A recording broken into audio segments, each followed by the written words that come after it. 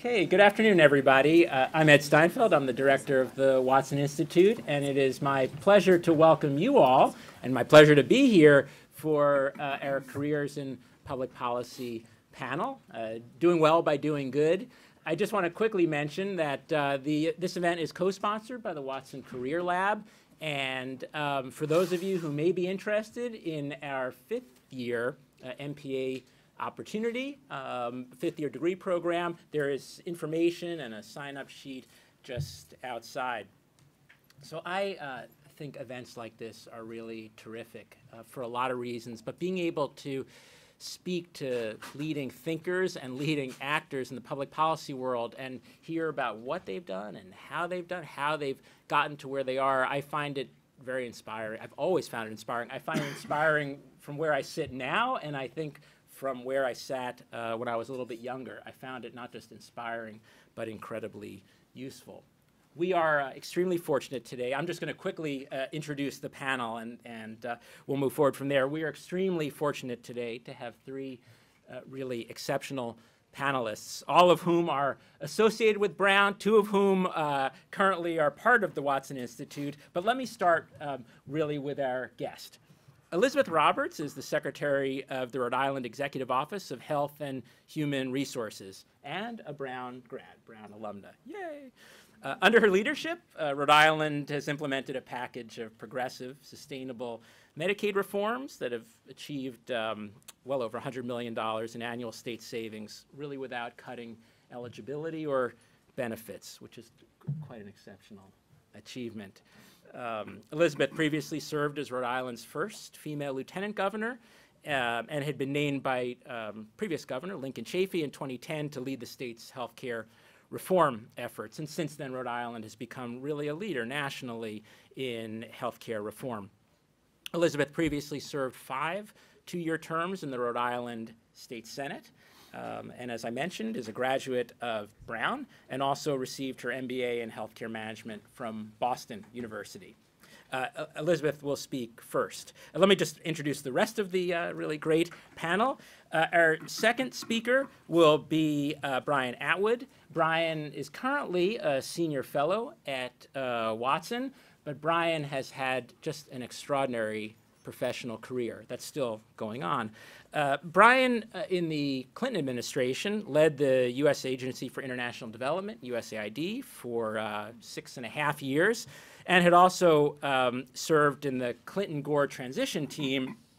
He had served as uh, head of the State Department, uh, head of the transition team for the State Department in 1992. Uh, Brian had also served as Under, Undersecretary of State for Management prior to his uh, appointment at USAID. Brian is not just a distinguished diplomat and a distinguished, uh, very high-level policymaker, but Brian is also a um, scholar and an educator. He had served previously as dean of the Hubert Humphrey School of Public Affairs at the University of Minnesota that was uh, from 2002 to 2010, and he was professor of public policy and chair of the Global Studies program at University of uh, at, at, the Hubert Humphrey School. Uh, Debbie Gordon, also a Watson Senior Fellow. Uh, Debbie is the director of the Energy and Climate Program at the Carnegie Endowment for International Peace, and she um, it comes from a very interesting background, if I may say so myself. I'm a bit of an engineer wannabe. I just didn't have any of the brains necessary for it. But uh, Debbie was trained originally as a chemical engineer at the University of Colorado. Go Buffs.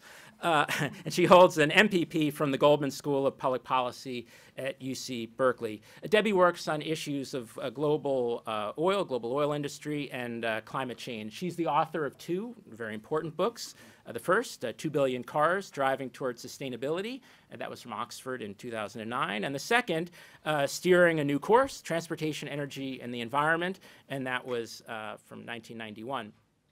Uh, in pr previous uh, portions of her career, Debbie managed an energy and environmental consulting practice and taught at the uh, Yale School of Forestry and Environmental Studies, and also directed the energy policy program at the Union of Concerned Scientists all of these individuals have huge CVs, which I uh, don't have the time to go into in detail, but what an exceptional opportunity for us today to have all of you here.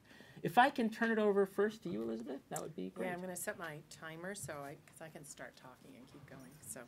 Um, you know, as I sit on this panel, um, and think about this institute, which is really focused, focused on global and international issues.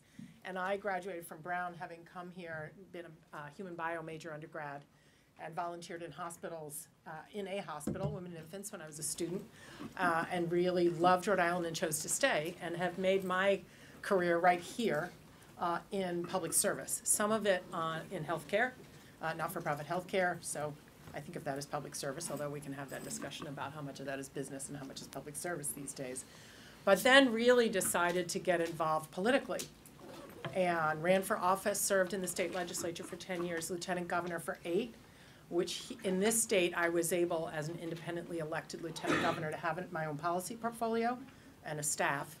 Uh, and as was said in my introduction, I, um, during my second term, was asked to oversee the implementation of the Affordable Care Act, which I, um, had been active working on some pieces related to that at the local level. And so now I, uh, as, having moved into the executive branch as the Secretary of Health and Human Services for Governor Raimondo, I now sit in this precarious spot, and we had a New York Times reporter here yesterday talking to us about it, of kind of seeing where, um, am I about to oversee the dismantling of what I have spent much of my career doing, and how, how do I protect the people that, um, which is about three hundred thousand people in Rhode Island out of a million. So when you think about health and human services, it is a huge percentage of the population for different reasons. Um, and it has been an incredibly rewarding career. Um, I've made a good enough living to live how I want to live, and I've also been able to serve the public uh, in a way that I have found really rewarding to me personally. Um, there are things to think about, and I was thinking about what it is that um, has made this rewarding for me and what the characteristics are I think about when I think about my work and uh, where different people fit into the environment that I work in. Um, so clearly, mission, commitment to mission is incredibly important if you want to do work in public service because there are enormous obstacles to overcome. It's never as financially rewarding as some other choices you can make. Um, and keeping that commitment to the mission helps you get through. I'm having a particularly challenging time in my job right now, which we don't have to go through. But part of what gets me up every day and going, you know, I got to get back to work, is the purpose that I'm there for, even when sometimes the work can be very frustrating. And public service can be tough and frustrating. There are a lot of obstacles you may not encounter elsewhere. I will also say that there are different pathways. So I, I chose a pathway kind of inside the system. You have to be, I, I cope well with incremental change. Some people are like, want to storm the barricades and blow up the system. And I love people like that because I never get anywhere if there aren't people out there doing that. But I know that what my skill set is, is not being the fighter so much as a person who sits down at the table and says, okay, what can we get done? How do we move it? Who do we bring here to help solve the problem? How do you build the team and, or the coalitions, different, different purposes for different times. Um, and that's what I love doing and what I've had success doing. Working with the community more, working with the people we serve, working with the people who provide service, um, and how do we improve what we do. Um, so they're advocates. So I've been kind of a government policymaker. Advocates, another pathway, incredibly valuable. If we do not have advocates speaking out, speaking up, I find myself, as I just said, I'm an incrementalist. I have spent the last two weekends protesting, um, which my children are thrilled about. Um, and so, you know, sometimes your, your roles change and you feel a call to action that's different from perhaps the one you've had before. But then I go back and I put my suit on and I go to my regular job, which is how do I, how do I get that, that next problem solved for the people that I serve? Um, there, when you think about your career, so that the other thing which sounds simple, but I will say, because it's not just the mission, but it's actually um, loving your work and the style of work that you have. So as I said, I'm somebody who likes sitting in the room and putting the people together and I also love engaging with the people I serve. As a candidate, I loved, loved, loved knocking on doors and talking to people, hearing their stories. What did they care about? What did they want? What did they need? How could I give a face of trust to government, which people lack so much? But having that, choosing that path that fits for you, that's not a struggle but a fit, is so important because then you last decades doing that and moving up. I'm not an academic. I'm sitting here next to some very um, esteemed academics. That's not my path. I chose more of a kind of out there and learn as I go path, which I have loved. But you need to find the one that fits you because that's the one where you will be successful and make a real difference. Um, and I guess the, the thing I will say is that you, you know, that sense of mission and that sense that you won't give up. That as much as um, it feels like some weeks and months and even years sometimes that things won't get better. And I'm looking at a four-year period where I'm like, this could really be um, a dismantling of so much I care about across many issues. And I'm now committed to figuring out how I serve the people in this state, a million people, with a governor who doesn't agree, nor do I. How do we still serve them the way they should be served, despite an administration in Washington that may not see things the way we do? So I have loved my work. I still love my work. I am way, way older than you all. I'm probably older than your parents. Um, but it has been um, a career I would recommend to anyone. And I will say, last of all, before I stop, um, I think for many people, elected office is something they think of as distasteful, nasty. Uh, both my parents, my mother said to me, uh, and I, I'm about to say something crude. My mother didn't say anything crude. She said, "Are you tough enough?" And I said, "I'm going to find out." My dad said to me, and this is this is like my dad was like. He said, "How much of a whore are you willing to be? How much will you trade off on your principles?" And I said, Dad, I'm not planning on that. I'm going to compromise. My dad was a very conservative Republican. He's no longer living. I'm going to hold my principles and myself, but work within a system where everybody doesn't agree with me. And I've been able to do that. And if you feel a call to, to elected office, please follow it because too few people do. Um, and it's very important that we have people who really care deeply, who are willing to learn and willing to focus and willing to commit to progress to serve an elected office. And then I'll stop. Great, thank you. Brian? Well, first of all, I have to say that uh, Rhode Island is well served, uh, Elizabeth. This is very impressive, and I, I watched your governor on uh, uh the Jim Braude show the other day on, on television, and very impressed by her as well. So Rhode Island is a very lucky state. Um, I guess the, the first thing I will tell you as an anecdote, which probably won't apply to any of you, but it's an interesting story nonetheless, um, because the theme of this is doing good by and, and doing well at the same time. One of my students uh, at Harvard, when I was teaching there, came up to me and asked if he could go to lunch with me, and um, I figured he was going to ask me to help him get a job. So I said yes. I, I'm, hopefully, I'm very open to students who uh, want my advice. so we went to lunch, and the first thing he said was, I just sold my dot-com company for $25 million. so I said, okay, you can pay for lunch. this, his name was Raj Kumar, and uh, he asked me if I would be the chair of his advisory committee. I had been the head of USAID, so he thought that might be helpful to him as he started this company called DevEx. DevEx um, provides information to people who want to get involved in development work, and many of you may know, uh, in fact, it's a very uh, important site for those of you who are interested in development because you can put your resume in there and uh, and people look at this long list if they're interested in doing a water project in Kenya and uh, you, you speak Swahili you can just press on the button and people will see your name come up if, the, if you have those qualifications. So it's a very, very good site uh, for those of you interested. My path was kind of settled for me, uh, much to my surprise, when I was selected to be a foreign exchange student. I went to the smallest country in Europe, well, arguably, Luxembourg, and was exposed to people who um, didn't live in a superpower, and I, I guess I learned then what uh, I guess it was Teddy Roosevelt said about uh, carrying a big stick, but being very silent and quiet about it all because uh, I wasn't very quiet. I was a very chauvinistic American who bragged about every Coca Cola sign he saw. And finally, my AFS brother said, uh, You and the Soviets are just as bad And I was very upset about that. And I said, How can you say that? We're a democracy, they're a communist country, et cetera. And he said, Well, you both want to dominate us. That was a lesson that sort of stuck with me. I became a diplomat after that. I became a Foreign Service officer in the State Department. And I hope I'm very sensitive and learned a lot about intercultural learning.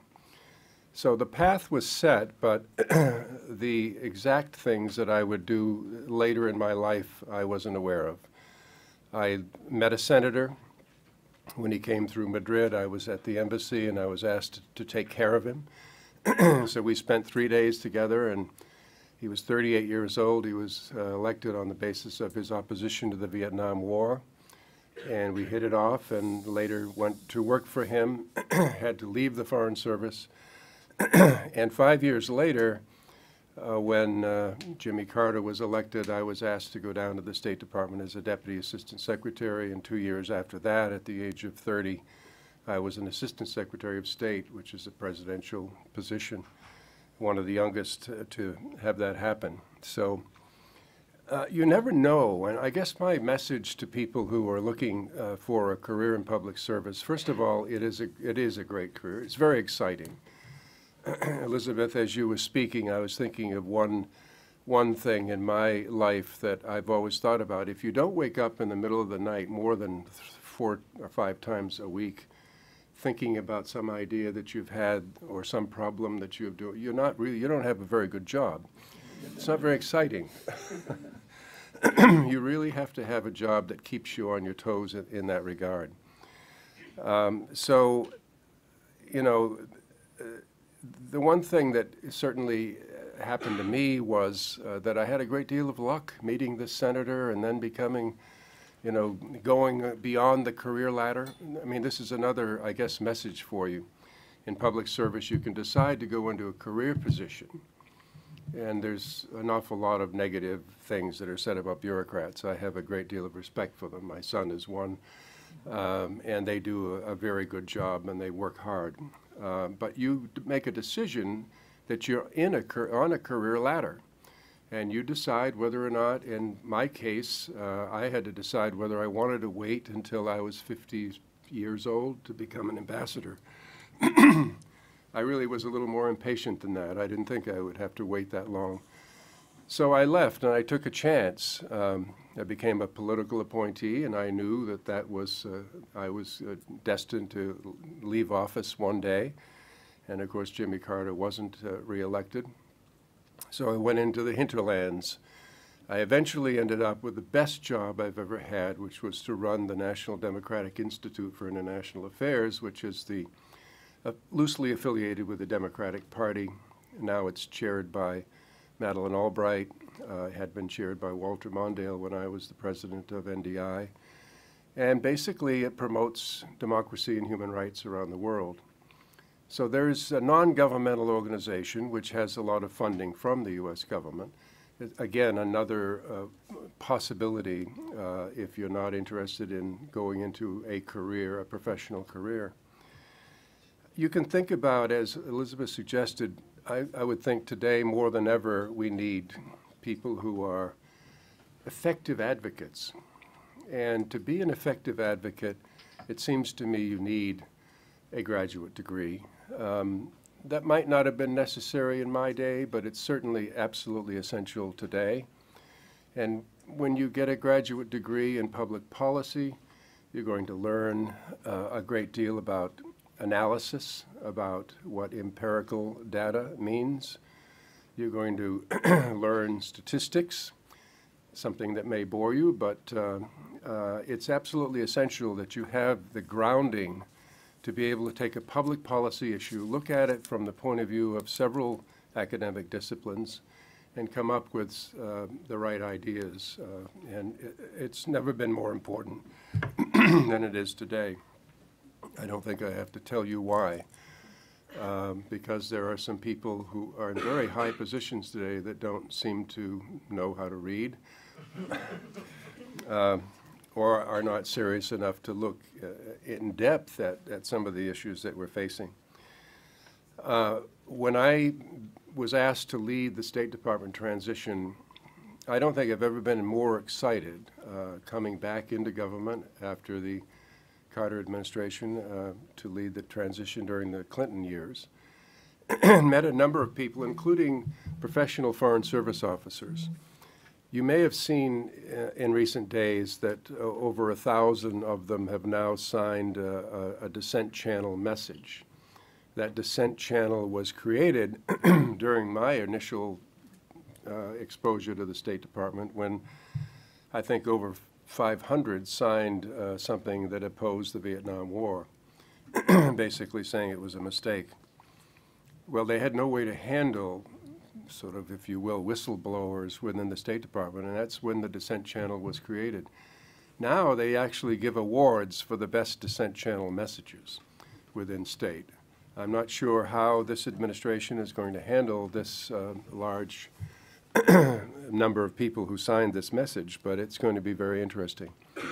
Um, but I, I remember talking to people, and I guess this is my final message, uh, who came to me as the transition leader and as professional Foreign Service officers said, you know, I've always opposed the last administration's policies. I'm really a Democrat, and I really want a job, is the underlying message in this next administration. I didn't respect that. Uh, they, weren't acting as professionals. And of course, that's something that if you do become a Foreign Service officer, you're there to serve. That doesn't mean that your voice shouldn't be heard. If you're in opposition to a policy, you should state it within the bounds of your job. You should sign dissent channel messages if you feel that way about the policy, feel strongly.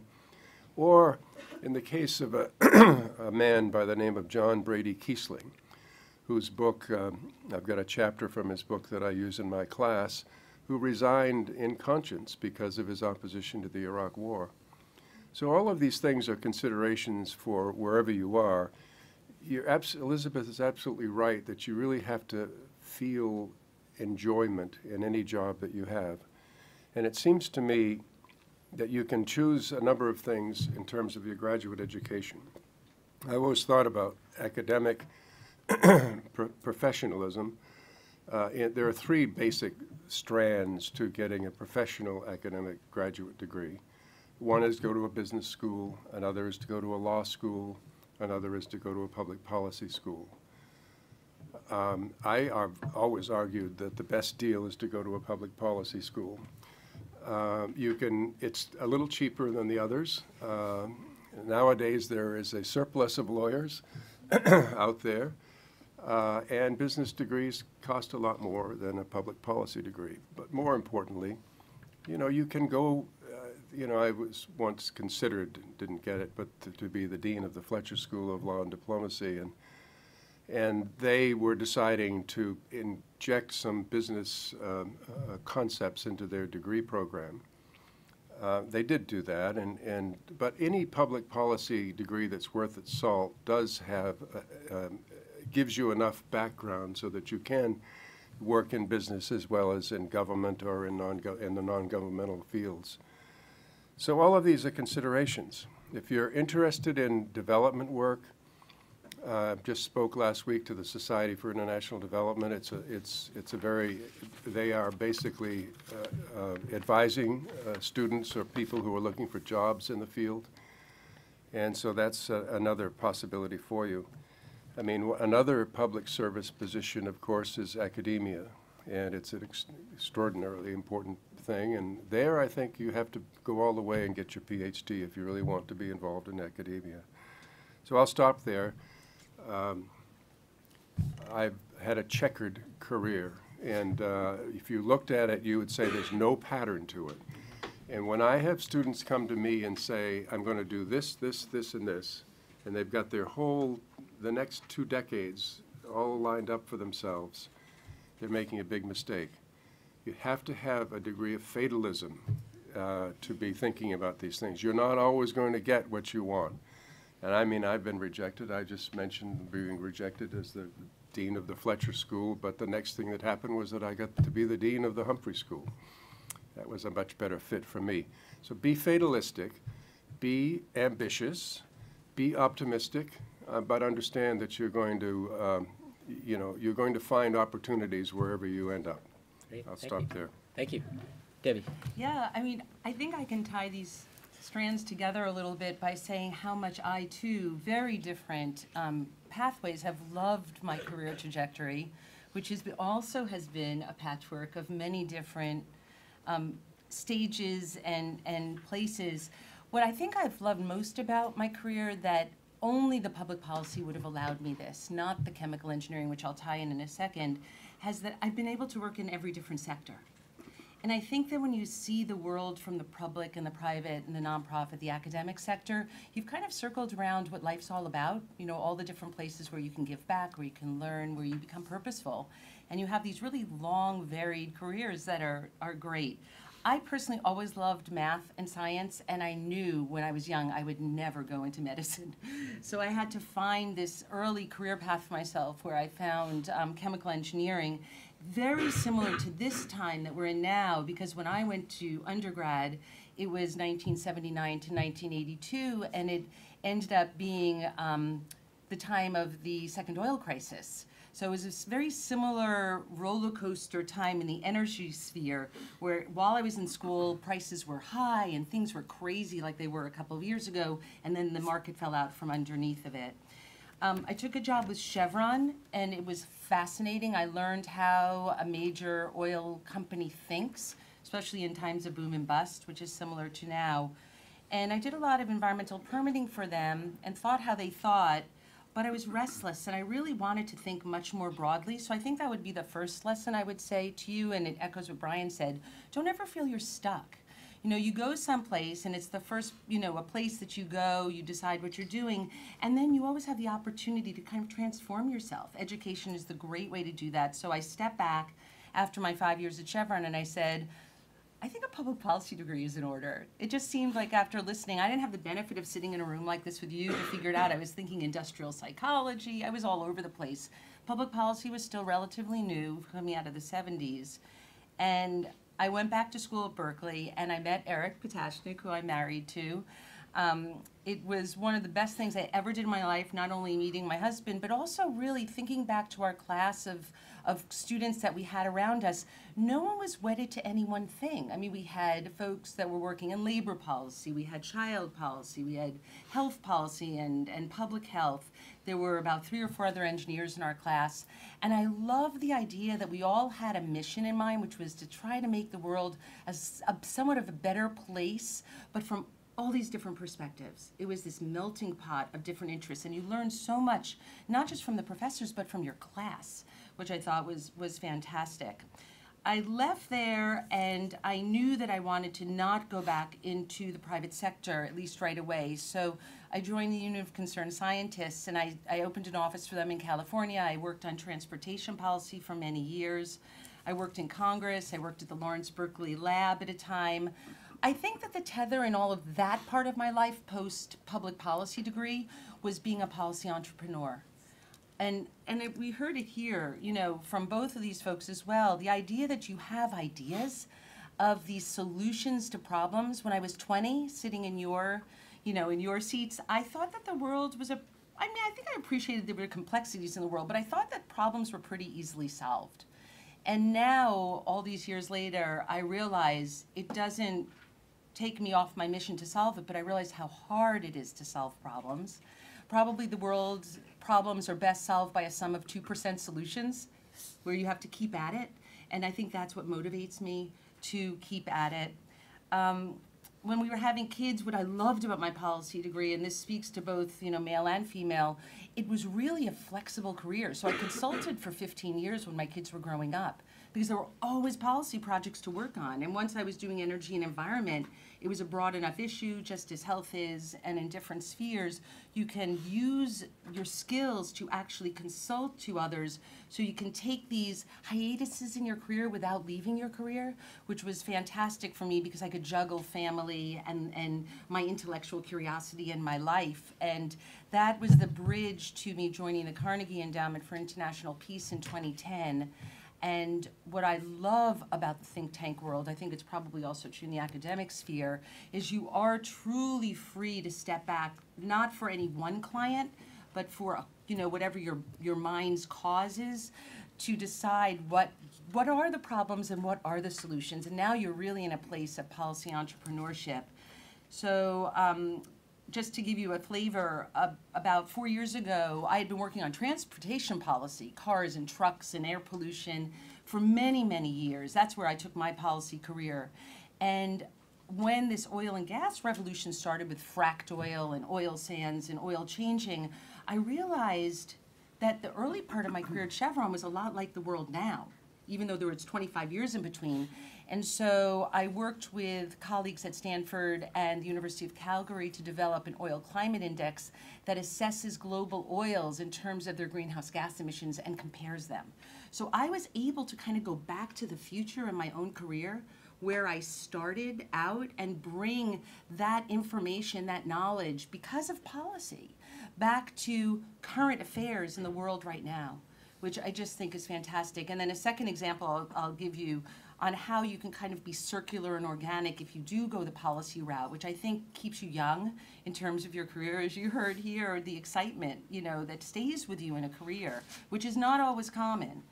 Um, but I was approached, I first approached, and then um, he came back to me, one of my early mentors at Chevron. So I have this whole group of people that I entered the oil industry with that stayed their entire career. I wasn't one of them. They've just retired. So a lot of my early friends in my career at 21 and 22 years old, they've now concluded their careers. They had their 30 years, they retired. They're young, but they're retired. So I approached one of my first friends, mentors at Chevron, and I said, you know, I think we should start something called the National Environmental Legacy Project. I don't know if we'll stick with the name, but I like it.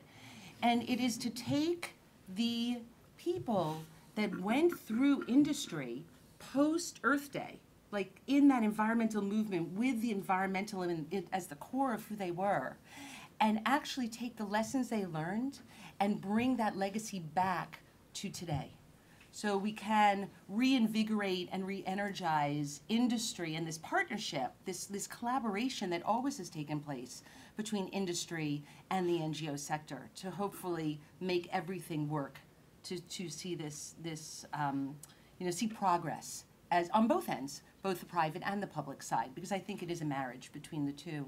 And now he, Steve, has assembled all of these other retired engineers. I have someone who's retired for Sandia National Lab. We're starting to like knit this new group together of people that want to give back. So I think that, you know, just again to echo what was said here, I think if you do choose to go into public policy, you're going to have a very long and fruitful and exciting career ahead of you. I don't know what your career will be if you go other routes, but I will say I almost can promise you if you are and if you get excited about ideas, if you think creatively about problems, if you're motivated to find different solutions, if you don't run out of steam and you're the well, you're here, so you're the type of people that that get excited about this, you will love a public policy career and it will just open your world for you and you'll find yourself toward the end of your career get being just as excited as you were in the beginning. Thank you, Debbie, and thank you to the whole panel. Great. We have time for questions. Questions from the, let's see, hands up, yep. So, you- you had one piece of advice to give to someone looking for like first jobs in public policy.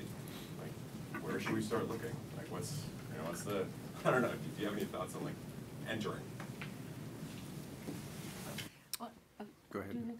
I was just going to say, I think a lot of it comes from, and, and I guess my, my path speaks this a little bit, but I think having some sort of substantive interest and knowledge that marries to this broader policy, you know, the goals of problems and solutions and crafting policy um, prescription. I would say start with what that substance is in your core. I don't know what your, what are you, what, what's your background interest? Research and migration and homelessness. What I've been focused on so far. So, But I don't know. I don't know. I mean, I do think honestly it's a time of real reinvigoration at the local and state level. So I would say n- I'm, I work in Washington, and I'd say not necessarily running to Washington right now might be a good thing. Um, but I do think at the local and state level, there's a purpose and a, um, a need.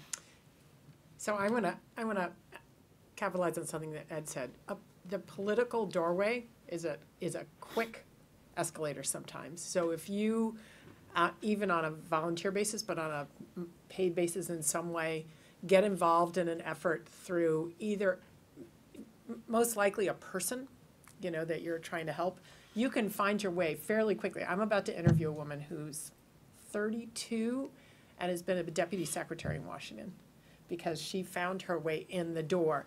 Um, and, you know, so, and that's about being smart and hardworking and lucky. So luck is the other I want to emphasize. But, um, you know, and then the other, the other way is to have a skill that's needed um, in an area you care about. So I've got, a- my son right now is working for an organization that is not, um, is local, the Institute for the Study and Practice of Nonviolence, and that's not his area of expertise. But he's creating a data kind of program assessment for them, which they didn't have any of that skill. They, you know, they, so finding a, a niche where you can help advance an area um, that they may have, an organization may have the mission you're thinking about. So when you think about homelessness, there's so many, but then they're lacking in some of the capacities they need to take themselves to the next level. So, um, you know, there's opportunities there that then you can find your way. But in, in, if, in some of the quick movement, it's really about connecting yourself to somebody who politically is moving, whether it's locally or nationally. There are a, a stunning number of people working for Governor Raimondo right now between twenty-five and thirty years old. A whole bunch of them. And um, it's great. I, so, and, and so let me tell you the other side. So for somebody like me, who's in my late fifties, I love working with a whole bunch of twenty-five and thirty-year-olds. Because they got educated in a different way.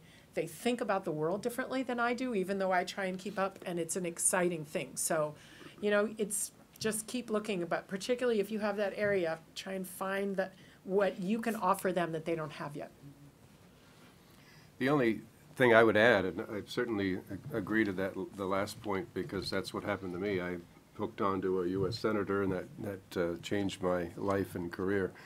But uh, internships are extraordinarily important. Now, the negative side is there are a lot of organizations that are really exploiting interns, aren't paying them and, and the rest. So if you can do your internship, you know, to get college credit or as part of your, your academic experience, that's great. But choose wisely the, the, the organization because many interns that, that um, work, especially in Washington, which I know best, uh, really catch on that way and um, make the contacts. Networking is extraordinarily important. Unfortunately, you know, you're all talented in this room. If you're Brown students, you're talented, but it depends on who you know uh, in the end. So uh, internships are important. Great. Uh, Yeah, Yeah, um, so I'm a senior now at Brown in public policy and thinking about post Brown and careers. And I definitely see kind of like a cliff coming, like there's a date I graduate, and then after that date, I need to have something or not. Uh, and it's a little daunting. Um, and you each talked about a lot of different career moves. I imagine in my life, unlike my grandparents, I will not be working at the same place for 25 years. Um, and you talked about some fatalism and being willing to, you know, go for it. So my question is, how did you know when the time was the right time to move from one thing to the next? How did you deal? I mean, it's like I don't even have my first job. It's like a scary thing. Like, how am I going to pay bills? Like, where am I going to work? Like, just like leaving a job is not a small issue. You know, I think it's instinct to some extent. Uh, You know, one thing that to always think about is that are you going to be, um, are you just changing jobs to change jobs? Or are you going to go up another level and learn, have an opportunity to learn even more? Uh, So that's an important consideration. Uh, Many, many of the, the students that I've had uh, as graduate students uh, are in the same situation. I do think you need your, that credential nowadays, and, um, and I must say, I've put a pitch in for the Watson Institute and the Taubman Center. We've, we've got an op, a tremendous opportunity there to get a graduate degree in, in one year, and I think that's a very important credential to have. You have to think about the person who has an opening say, the National Democratic Institute, where I worked for a while, um, you know, you, you advertise the opening and you'll get uh, a hundred resumes. Uh, If, it's very easy to simply say, "Well, he doesn't have a master's degree, just put that aside. Um, Unless, of course, you've been an intern, maybe you'll have an opportunity, they'll know you. Uh, Anything that can, can really uh, sell, you know, what you have to offer is important. But the credential, unfortunately, today is, is just absolutely essential uh, because it's too easy to set aside someone who doesn't have an advanced degree. I mean, I would add, I'm just going through resumes now. Carnegie has a junior fellow program, and it's too late because you're a senior. But I think what I would say, and maybe you've done this already, what I would say to anyone who still has some semesters left as an undergrad would be take, definitely take economics. um, and take enough analytic classes and enough breadth in your curriculum because as I go through things, I see a lot of students that have devoted themselves to their major, maybe a double major, but it's narrow. And I think the world is a very broad place right now. You need to be able to think across many different spheres at once. Um, and I would echo what Elizabeth said. I think that if you have, for the first question, if you have an idea, um, either something that's data driven, something that's knowledge driven, I'd say do it. Like, do it in your spare time. That's a little bit of the juice that goes with public policy anyway. Like, you never really get bored of yourself. You're always working on something. And if that means, you know, taking the initiative to write an article that you submit somewhere or to build a database that you share, but I would just say endeavor. And there is a lot of luck involved in this, but I've found that there's a lot of just personal self-interest of perpetuating your thought that goes into this. My moves were really, to answer your direct question, my moves were really um, much more motivated by my husband's career. So when Eric was moving, I was getting creative and moving as well. But I have somewhat bought into, and it always, I always landed and felt great about it. But I've kind of subscribed to a basic thought was wherever you are in life, try to get out at the top. Don't ride the elevator to the bottom. You know, it's really important in life to kind of be aware of you and the world and your situation and your own interests and your own life, and then try to try to stay where you are and have a great ride at it. And then if it lasts for a very long time, great. And if not, don't let it bring you down to a point where you feel lost in where you are. So I'm gonna, I, I have not had a particularly linear career. I kind of left out the first fifteen years of my career and my, I didn't even run for office till I was almost forty. Um, but I will say something Ed said, and that is kind of instinct. There were times when there was an opportunity and I was like, it's not quite what I thought I was gonna do, but it really, for some reason, interested me. The people I would be working with, and I can't, um, that is incredibly important. I always wanted to learn. I wanted to work with people I could learn from. Um, that sometimes I go, you know, I'm just gonna try it. And so those are some of the best choices I ever made. Cause I didn't, I didn't really have a path I'd already mapped for myself. As opportunities came along, I took them. I will also be honest and tell you that my first nine months out of Brown, I worked at a store on Wickenden Street. Okay? I was, I wanted to stay here. I didn't have a career path job yet. Uh, I ended up at Pawtucket Memorial Hospital after that. But I was like, I'm staying here. I'm going to figure it out. And I took a job at a store on Wickenden Street. And I also, it gave me a moment to decompress and think about what I wanted to do. Um, and so, you know, people have different pathways. I went to graduate school at night because I needed to work while I went to grad school, which is why I went to BU because I could do that. So, you know, you find that path, and some of it is what you'll, I think often you can have a natural sense of what's the right step for you. And you should listen to that, you know, think about it. If you tend to have, make bad choices, maybe don't listen to it. But, you know, you will, there will be something and you go, hmm, I thought I was going there, but that looks really interesting. I would never, when I was 22, I would never in a million years have told you that I would have been somebody who is a politician. Never. I grew up with the Watergate kids. I watched the destruction of politics. And I would never have done that. At 39, somebody said, You want to run for office? And I went, You know what? I would love to do that. And it was the best thing I ever did. So, you know, listen to that voice sometimes, especially if you have the ability to do it, because um, it can be some of the most rewarding choices that you make. Other questions? Yeah. Hi. Um, so I have a question uh, for Elizabeth, kind of just like to respond to Deborah's point about getting out on top. Um, So working in an administration. I'm sliding at the Yeah, I moment, I'm just saying. But go ahead, I'm sorry. I mean, I'm considering a career with State Department as well, and now have to reconsider whether I do want to work in an administration that I don't align with. So, to what extent is that contradictory? Like, how should you follow your passions versus like knowing that it might not be the best move from like upward mobility standpoint? Well, hmm, good question. everyone. Yeah, no, I mean, so I will be honest and say that I made several choices that probably weren't the best move from an upward mobility perspective, but then because I was able to turn them into that, they did become that, right? So, um, don't underestimate the value of luck, but also hard work. You'll be surprised when you get out there in the big world. A lot of people actually don't work that hard.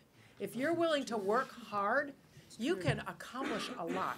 And I discovered in politics, there's a lot of people who don't work hard. And I love, I love complicated public policy, and there's, legislatures are not full of people who love that.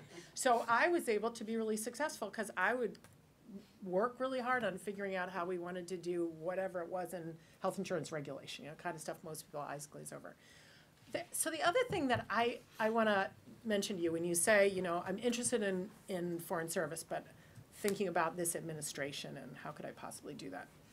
So I, I have been in political environments that I was uncomfortable in. Um, and I actually always felt I worked for the public, not for the government. Um, and it was my job to make my part of government the best it could be. You know, I, I was in some leadership structures in the legislature where I was like, hmm, you know, I ended up in the back of the state police because the guy that I worked for ended up arrested and going to jail. I never knew that it was a, not a comfortable thing, but the work I did on that committee was actually very good. So, you know, it's, you've got to figure out how you manage yourself and what you're comfortable and can, can do. Um, and, but, but I'd encourage you, especially in this environment right now, which is a worldwide, I think not just an American phenomenon, um, if we don't have people who disagree in positions of authority and power, then it only gets worse. And the times I wanted to quit my elected job, I would have enough of an ego. I would go home at the end of the legislative session. I would say, I'm not running again. It's done. I'm done. I don't want to have to compromise about some things. And then I would sit there and I go, but if I leave, does somebody better come in? Who's going to speak up on the issues I care about? Who's going to fight for those things? And um, can I also say something that's politically incorrect? It's okay to have an ego. It's okay to believe that you offer something valuable and therefore to commit to providing that to the broader community. Because that's really a lot of what public service is about. And I should clarify what I said, because I don't think you can get out at the top unless you're in. Good point. So I think the best time to get into a job is in a time of chaos. It's not Yeah. easier, but you will learn so much. So I would definitely go if you were inclined to and not avoid going because of what you read is going on. I came into the oil industry during a time of crisis. I learned so much. I started the Union of Concerned Scientists when climate change became a thing. I learned so much. I think the best time to go in is just at this time. And you will know if you feel the time comes, this isn't the right way to go. And then you get out at the top because you're already in there. And I wouldn't worry as a junior foreign service officer that you're going to have to spend your days defending the Trump administration's foreign policy. Really, I mean, I was in during the Vietnam War, um, and I was assigned to the Ivory Coast uh, in West Africa, Cote d'Ivoire. And all sorts of things that an embassy does on a day-to-day basis, um, consular officer, you know, various things, even the political officers at, the, at that embassy didn't have to defend the Vietnam War. That wasn't their, their thing. And there are many ways to rationalize if you disagree with the policy. Um, your basic position as a diplomat is to say this is what they are saying back in Washington. That's not necessarily what you're saying. There are, if you act, if you act as a professional, you can do it. Now, if you were to get into the Foreign Service this year, it would probably take them six months to get a security clearance, then you'd go through training, then they'd send you to language training. By that time, Trump will be the pa, in the past.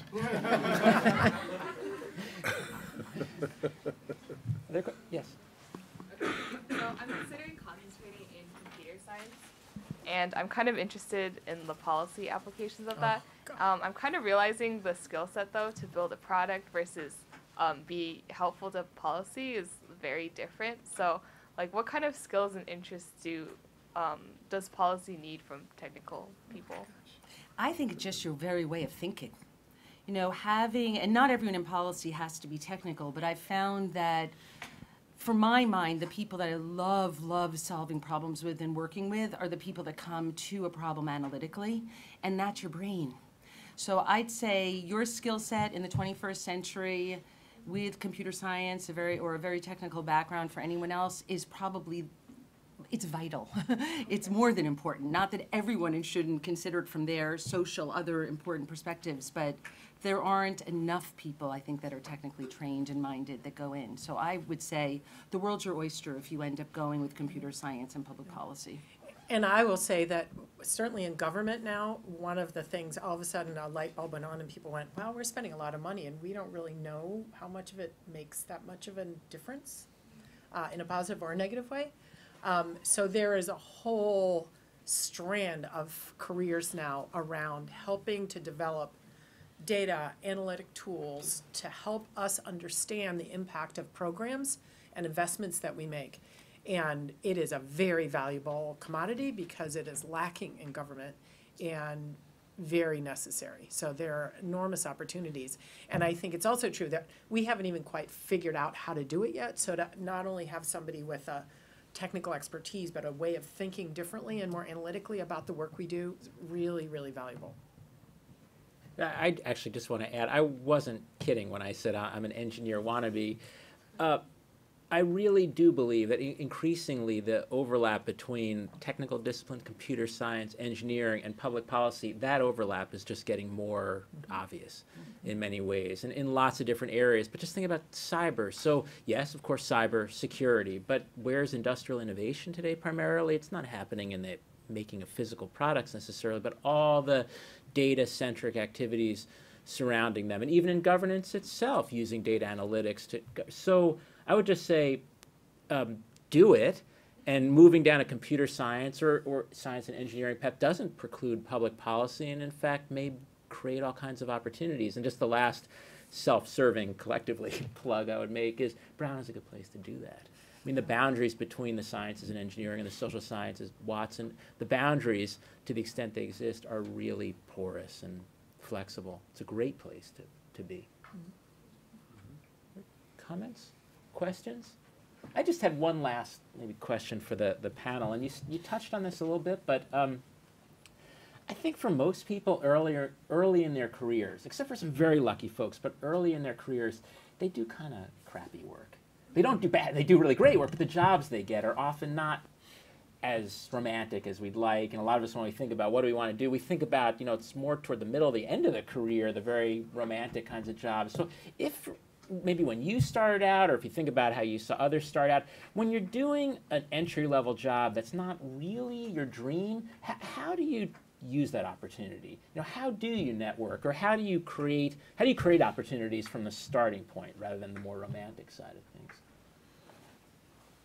I think you listen and you learn, and you take every opportunity. I mean, if you're, um, if, for example, an intern working in an office for someone who's, who does a lot of writing, um, he'll probably ask you to go off and Xerox something for him, uh, copy something for him, but you have an opportunity also just on your own to write a memo to him, say, I've had this idea or that idea. I mean, you, you can show what talents you have and, and, and, and give some thought to that. I mean, it, it, people who are good mentors will encourage that kind of activity when you're young.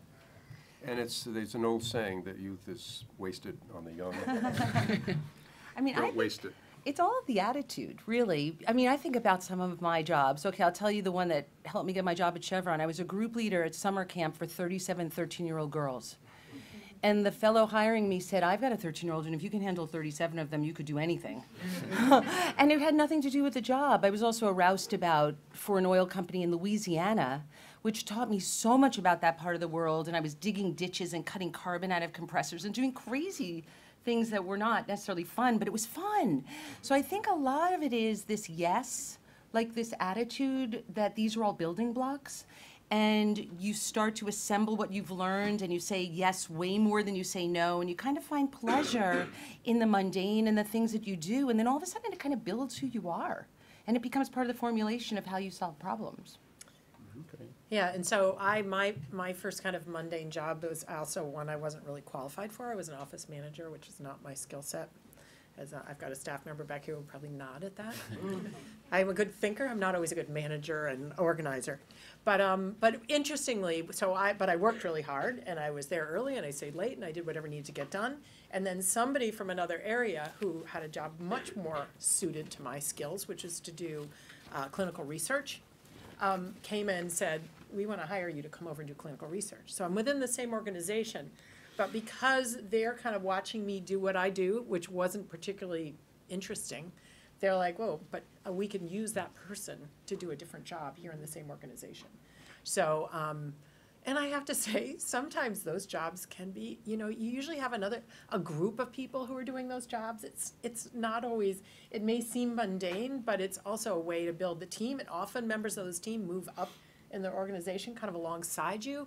Um, and those will be people that you, it's like your roommates, you know, they're the people that you know as you move forward and build your network. So, I don't know, I, um, I look back fondly on some of my less than exciting jobs of the past. I love being waitress, for example, you know, I had that moment. Um, So, you I learn, was a you learn. supermarket checker outer. Right. I love So the other thing is to realize that in the most mundane job, you learn things.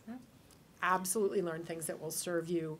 I learned things as a waitress that serve me well now. Um, but even in my first entry-level career job, um, you know, I learned skills, I learned, um, some new data analytic skills that I didn't have. I learned, new- you know, you just take advantage to learn, cause that learning will carry through for you.